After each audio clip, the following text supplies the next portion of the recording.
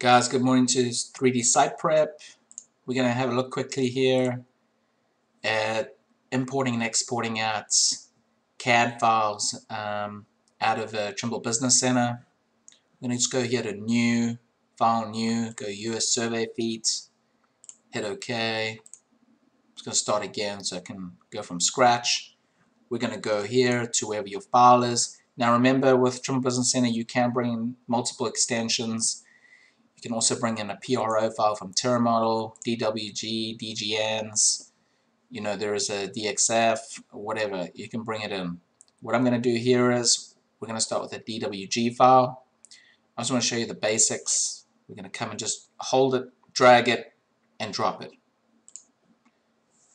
There it brings in the file. What we're going to do is, I'll just show you a quick thing here. If you guys are bringing in a, a uh, 3D surface and you haven't made one but you have the, the 2D surface in there. We can go, come up over here to uh, surface create a surface give it a name.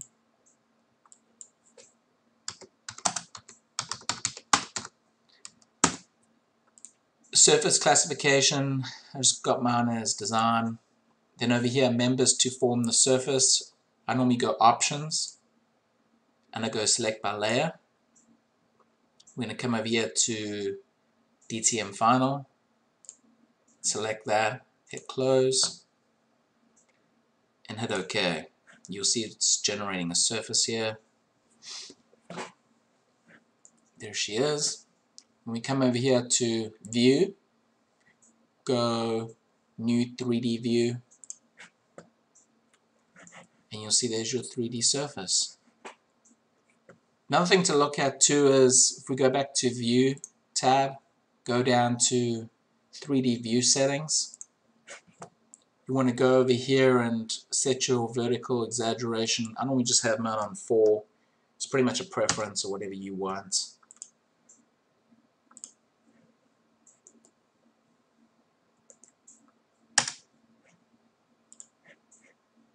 This is for your rotation.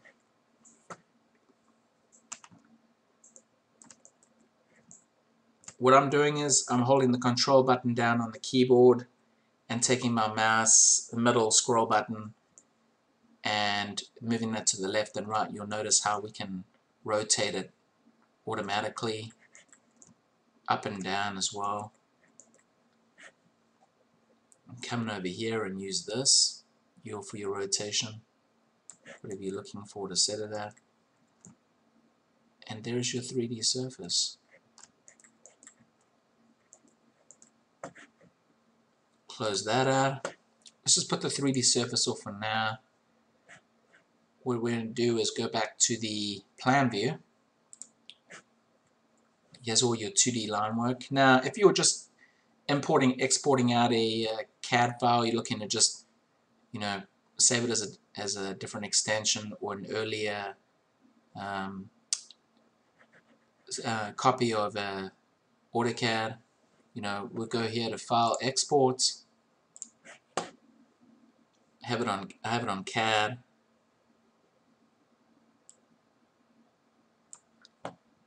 DWG exporter.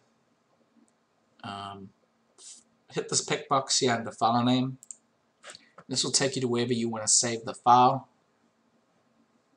And we'll go over here and call it TBC site exports. Options here.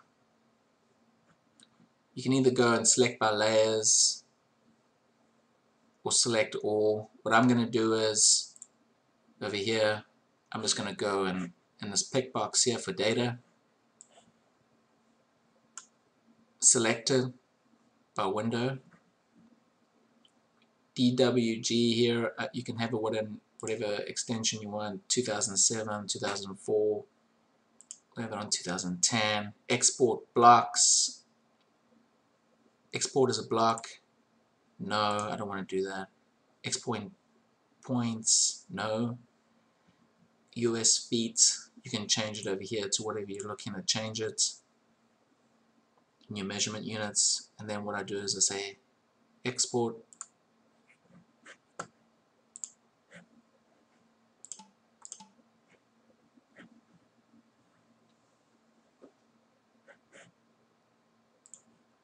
And that's it. You've exported out your file. And that way you can go and bring it into another if you're bringing into a different type of uh, software you know you're just looking at export out layers you know always bring that file and turn all the layers off that you don't want. You know or if you're looking to just bring them all in and out you can just select them all on and export it out. Um, it's really a preference of what you're looking to do but I just want to make this quick video guys. Hope this helps. And uh, if you need more information, go check out our website, 3dsiteprep.com. Email me for any questions or modeling um, advice. Hope to see you guys soon.